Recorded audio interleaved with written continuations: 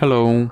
In this video I will show you how to install ChatGPT widget on Samsung Galaxy S25 Ultra. So you have to start by opening your Google Play Store, then click on search bar and type in Wally AI and click search and then click install.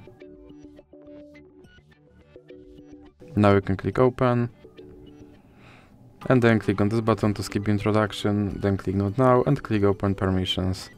Then click here to allow this app to appear on top and now we can go back and click start. And as you can see right here there is my ChatGPT widget and I can open him and I can tell him to do something.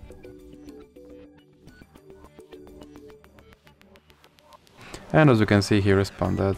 And if you want to remove him from your screen, simply drag him into the X icon in the middle. So, that's it for this video, if you liked it, please remember to leave like and subscribe.